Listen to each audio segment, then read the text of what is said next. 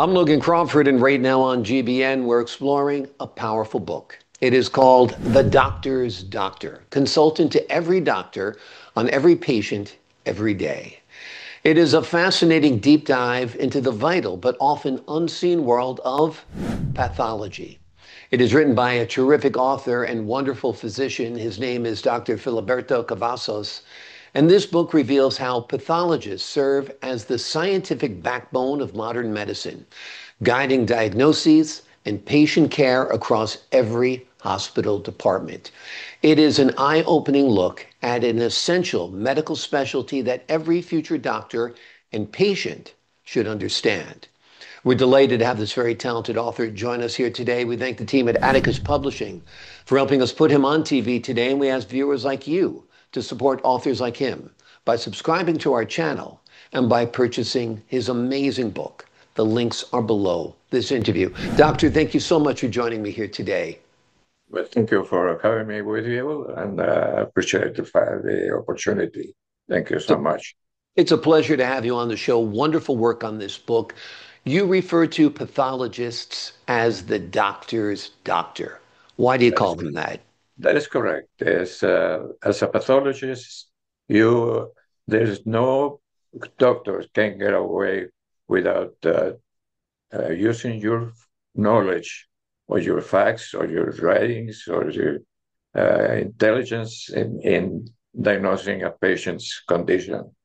And also, of course, not only diagnosing the condition, but uh, suggesting the treatment necessary for each patient. So it is a close relationship between clinician or any clinician and a pathologist, eh, both in the hospital and, and the private practice as well.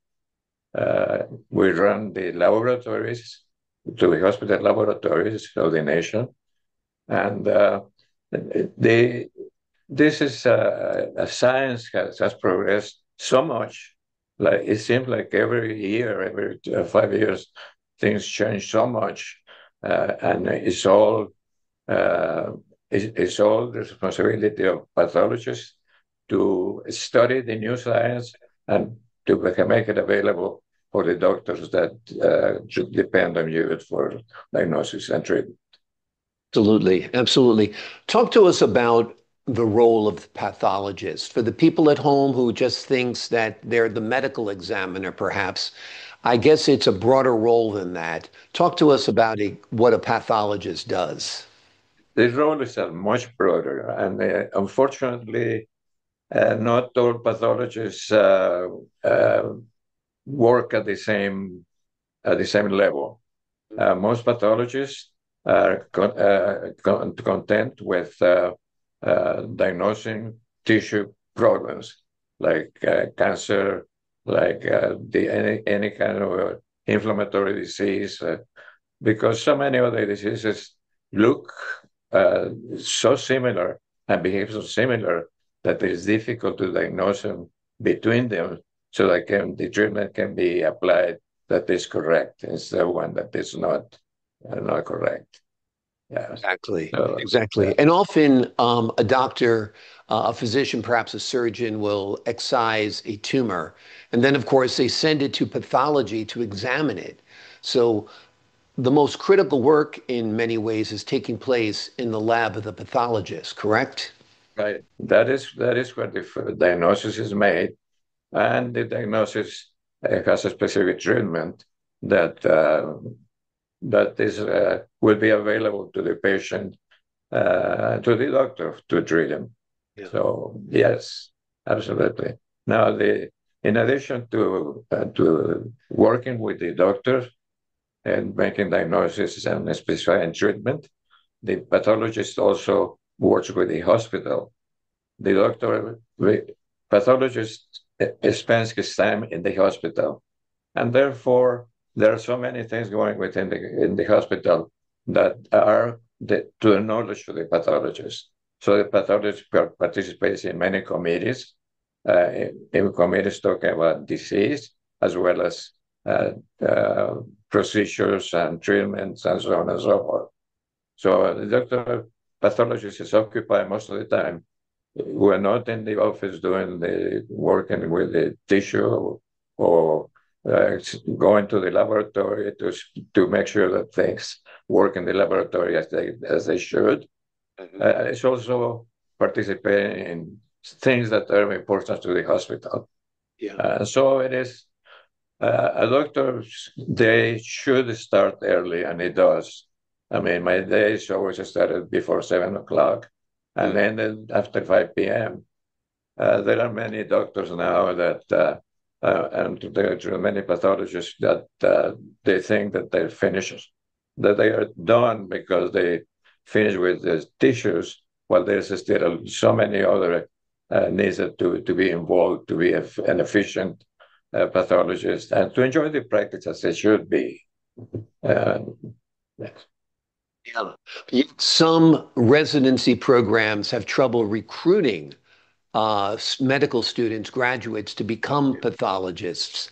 Tell us that. Tell us why that is. Is it because other fields are more lucrative? Tell us about that.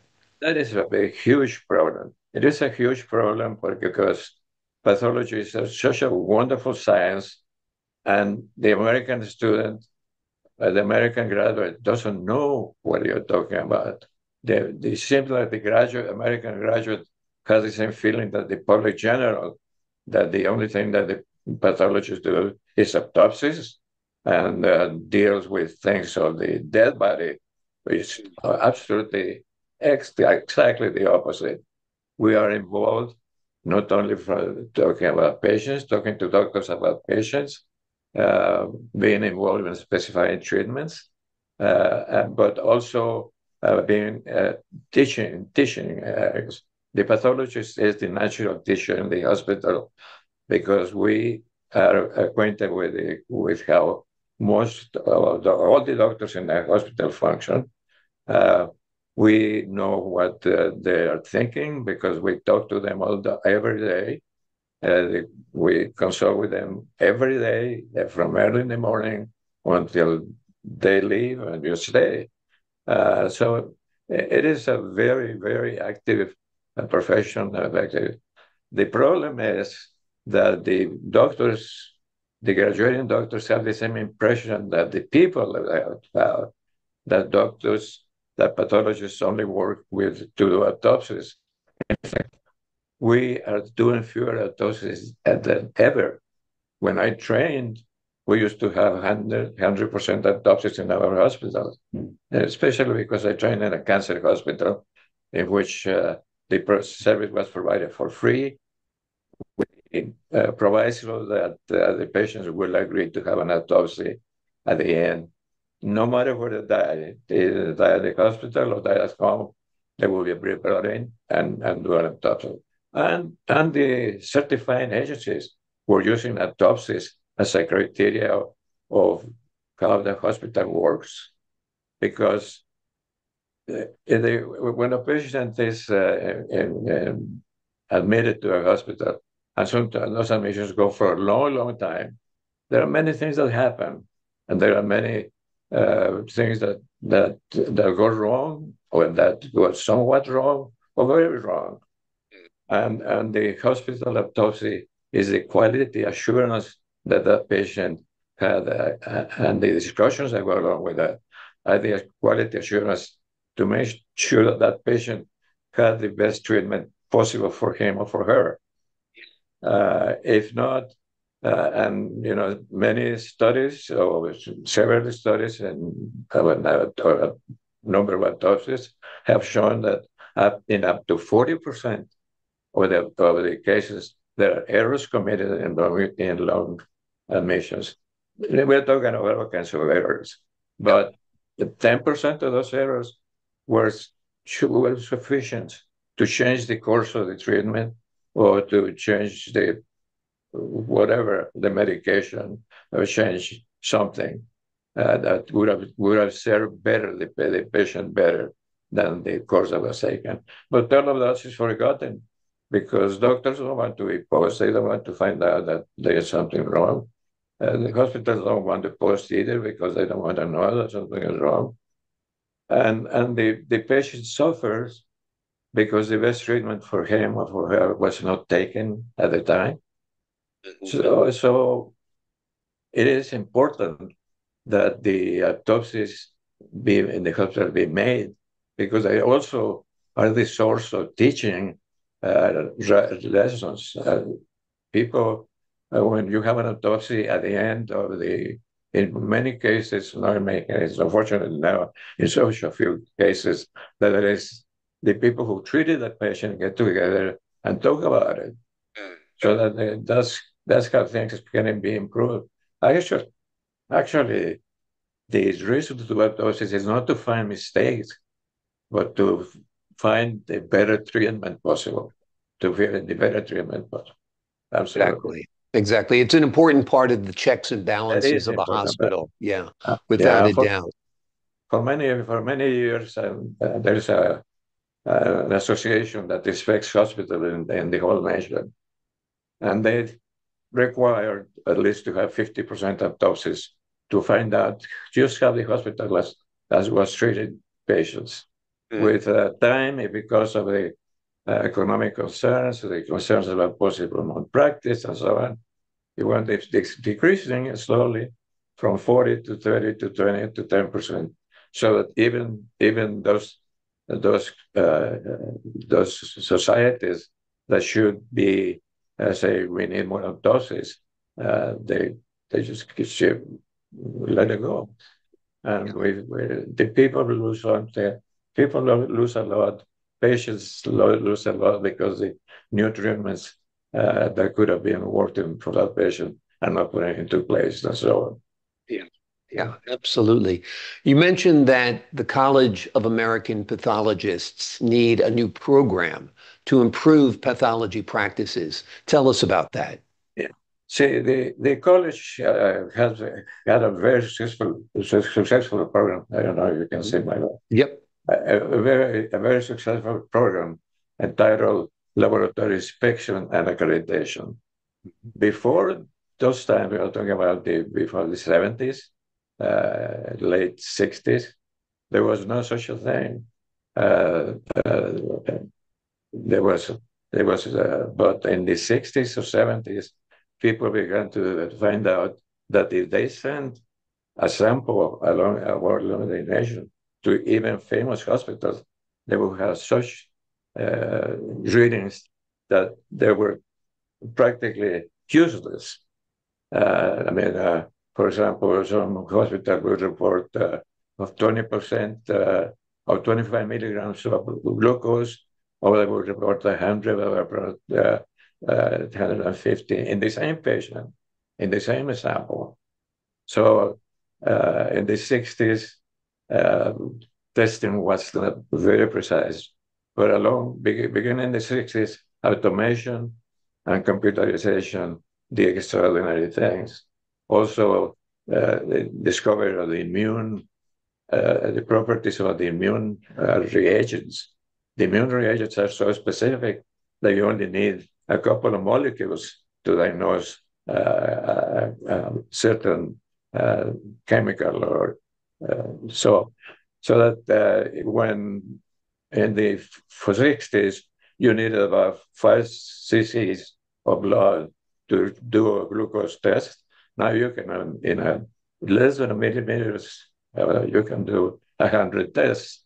Not only do you do a hundred tests, but they're so much more precise mm. that uh, uh, remember, remember this poor woman who who was guaranteeing that that, that she could do uh, one drop of blood, Elizabeth Holmes.